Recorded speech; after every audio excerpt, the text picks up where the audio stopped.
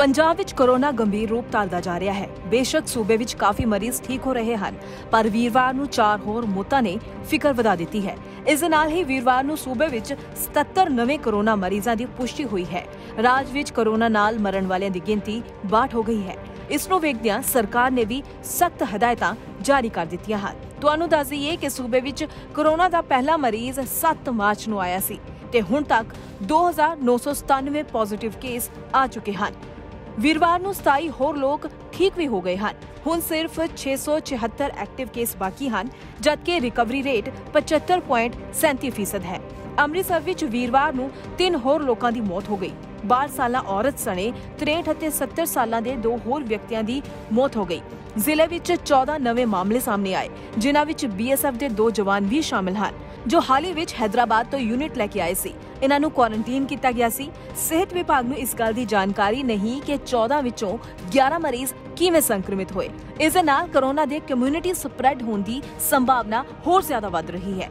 ਤੁਹਾਨੂੰ ਦੱਸ ਦਈਏ ਕਿ ਚੰਡੀਗੜ੍ਹ ਵਿੱਚ ਲੁਧਿਆਣਾ ਦੇ ਇੱਕ ਮਰੀਜ਼ ਨੇ ਦਮ ਤੋੜ ਦਿੱਤਾ, ਜਦੋਂ ਕਿ ਇੱਕ ਪੁਲਿਸ ਮੁਲਾਜ਼ਮ ਸਣੇ 13 ਵਿਅਕਤੀ ਪੋਜ਼ਿਟਿਵ ਪਾਏ ਗਏ। ਵੀਰਵਾਰ ਨੂੰ ਪਠਾਨਕੋਟ ਵਿੱਚ ਸਭ ਤੋਂ ਵੱਧ 19 ਕੇਸ ਹੋਏ, ਜਿਨ੍ਹਾਂ ਵਿੱਚ ਇੱਕ 25 ਸਾਲਾ ਔਰਤ ਸਣੇ 6 ਅਤੇ 3 ਸਾਲ ਦੀਆਂ ਉਸ ਦੀਆਂ ਧੀਆਂ ਵੀ ਸ਼ਾਮਿਲ ਹਨ। ਸੰਗਰੂਰ ਵਿੱਚ 6 ਰੂਪਨਗਰ ਅਤੇ ਪਟਿਆਲਾ ਵਿੱਚ 4 ਮੁਹਾਲੀ ਅਤੇ ਜਲੰਧਰ ਵਿੱਚ 3 ਮੋਗਾ ਨਵਾਂ ਸ਼ਹਿਰ ਫਾਜ਼ਿਲਕਾ ਅਤੇ ਤਰਨਤਾਰਨ ਵਿੱਚ 2 ਅਤੇ ਬਠਿੰਡਾ, ਗੁਰਦਾਸਪੁਰ ਅਤੇ ਮੁਕਸਰ ਵਿੱਚ ਇੱਕ ਇੱਕ ਨਵਾਂ ਕੇਸ ਸਾਹਮਣੇ ਆਇਆ ਹੈ। ਸੋ, ਸਾਫ਼ ਤੌਰ ਤੇ ਅਸੀਂ ਦੇਖ ਸਕਦੇ ਹਾਂ ਕਿ ਜਿਸ ਤਰੀਕੇ ਨਾਲ ਲਗਾਤਾਰ ਕੋਰੋਨਾ ਵਾਇਰਸ ਵੱਧ ਰਿਹਾ ਹੈ, ਪੰਜਾਬ ਵਿੱਚ ਵੀ ਕੋਰੋਨਾ ਜੋ ਹੈ ਗੰਭੀਰ ਰੂਪ ਧਾਰਦਾ ਜਾ ਰਿਹਾ ਹੈ।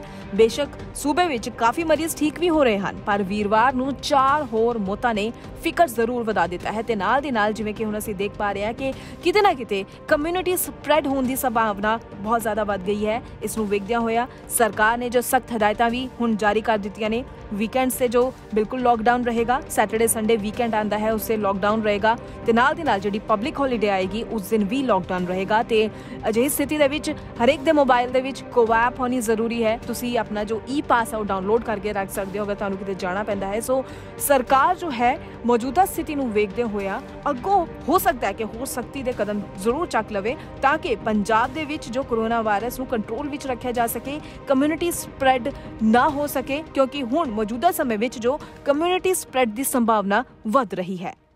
ਪੰਜਾਬ ਅਤੇ ਪੰਜਾਬੀਅਤ ਨਾਲ ਜੁੜਿਆ ਹਰ ਮੁੱਦਾ, ਹਰ ਖਬਰ ਨਿਰਪੱਖ ਤਰੀਕੇ ਨਾਲ ਤੁਹਾਡੇ ਤੱਕ ਪਹੁੰਚਣ ਦੀ ਕੋਸ਼ਿਸ਼ ਵਿੱਚ ਤੁਸੀਂ ਵੀ ਦੇਵੋ ਸਾਡਾ ਸਾਥ। ਤਾਂ ਹੁਣੇ ਲਾਈਕ ਕਰੋ ਸਾਡਾ ਫੇਸਬੁੱਕ ਪੇਜ ਸਬਸਕ੍ਰਾਈਬ ਕਰੋ YouTube ਤੇ ਅਤੇ ਫੋਲੋ ਕਰੋ ਇੰਸਟਾ ਅਤੇ ਟਵਿੱਟਰ ਤੇ ਨਿਰਪੱਖ ਪੋਸਟ ਖਬਰ ਦੀ ਨਿਰਪੱਖ ਆਵਾਜ਼ ਵਿਜ਼ਿਟ ਕਰੋ www.nirpakhpost.com